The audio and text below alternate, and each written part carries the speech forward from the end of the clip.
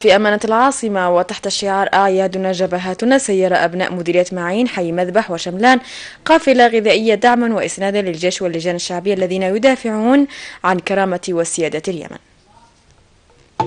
إما أن ننتصر أو أن ننتصر. هذا هو خيار الشعب اليمني وهو ما يثبته أبناء الحكمة طيلة عام وثمانية أشهر يذودون عن أرضهم بالمال والسلاح والرجال. مؤكدين المضي قدما حتى النصر أو الشهادة في سبيل الوطن. خرجنا نقدم أرواحنا بدمائنا فداء للوطن. وهذه القوافل وهذا الحشد العظيم وعاد المزيد والمزيد ولن نتوقف. طبعا دعما لجبهاتنا الحدودية. أقل ما نقدم لها الأبطال الشرفاء الذين يسطرون آه، قيم الإنسانية والدفاع عن الوطن وعن كرامتنا وعن أعراضنا. نحن أبناء مذبح وشملان. ليست القافلة الأولى بس نبذل المزيد بإذن الله. ونقول لهم قادمون قادمون من هنا من هنا قادمون وسنصل إلى إلى عمق ديارهم. والله على ما نقول شيء. أعيادنا جبهاتنا شعار رفعه أبناء مديرية معين حي مذبح وشملان. للقافلة التي جادوا بها لإسناد ودعم الجبهات التي تلقن العدو دروسا في الرجولة والبطولة. مستعدين ندعم بأموالنا وأولادنا وأنفسنا. دفاعا عن وطننا. من أعداء الله المعتدين على الشعب اليمني.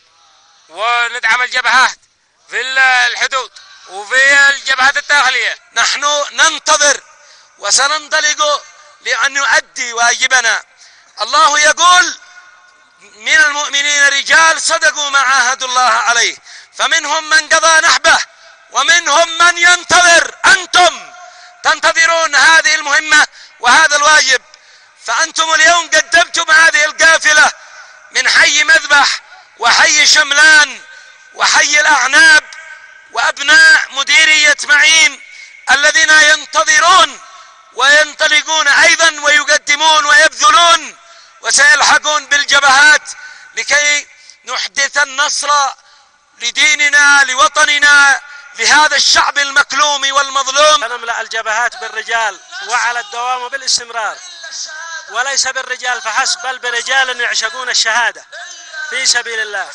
المشاركون في الوقفة نددوا بالعدوان الغاشم والجرائم التي يرتكبها باستمرار بحق المدنيين وأكدوا وقوفهم مع الوطن وترابه حتى آخر قطرة من دمائهم واستعدادهم لبذل الرجال إلى جانب المال حتى النصر المؤزر.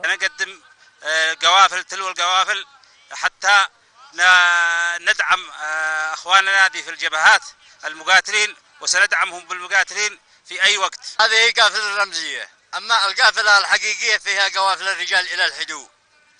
والعدوان السعودي لازم ناخذ ثائرنا منه. مستعدين بالقوافل وبالمال والرجال سندا لهم وسنبقى سندا لهم دوما وسنثبت معاهم في الخنادق حتى النصر بإذن الله وبإذن الله. سوف ندعمهم بالمال والرجال والعتاد وصامدين وإلى الأبد.